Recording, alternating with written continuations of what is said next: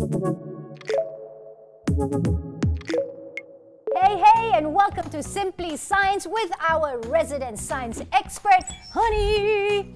The past two episodes, we've done two really cool experiments. Mm-hmm. So today, we're going to be doing something cool as well. It's the glow stick. Glow stick. That's I familiar to you, oh, right? yes, I love glow sticks. So for this experiment, what I'm going to do is I'm going to show you how the glow sticks works. It's when the two of these things get together.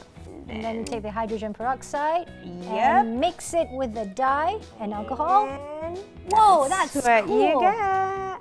How do you preserve your glow stick? Is actually putting it in the, freezer. Fri- okay, the refrigerator. Yes. Just keep it in, and then when you want to use it again, Put it in hot water.